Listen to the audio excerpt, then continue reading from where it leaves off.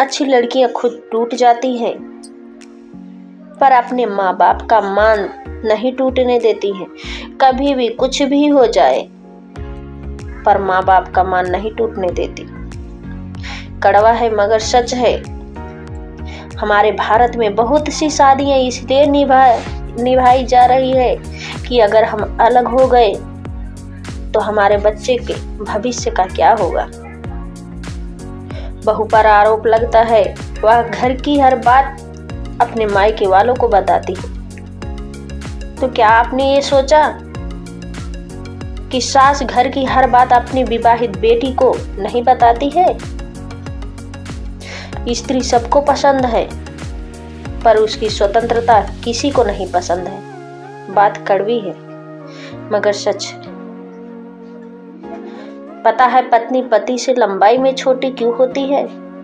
क्योंकि पति जब उसको गले लगाए तो पत्नी उसके दिल की धड़कन को सुन सके।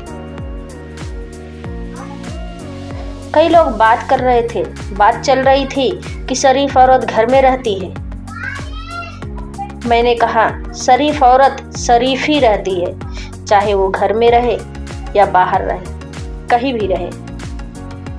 औरत रिश्ते निभाने के लिए अपना मायका तक भूल जाती है, इसलिए नहीं कि वह ससुराल वालों से डरती है, बल्कि इसलिए सब सह जाती है ताकि मायके वालों और माँ बाप पे कोई उंगली न उठाए।